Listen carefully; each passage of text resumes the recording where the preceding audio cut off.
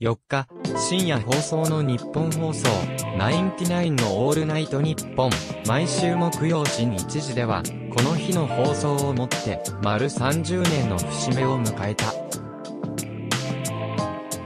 記念すべき、放送の冒頭は、おなじみの、怒鳴りではなく、まさかの、地上の星歌唱からの幕開けとなった。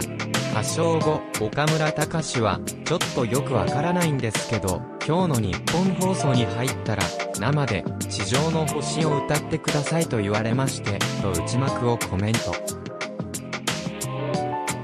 昨年2月の大型特番、オールナイト日本55周年、記念オールナイト日本55時間スペシャルで、トップバッターを務めた際は、抽選と歌唱していたが、2人の中で不完全燃焼で終わっていた。今回について岡村は我々の中での最高傑作出たんじゃないかなと手応えをにじませていた。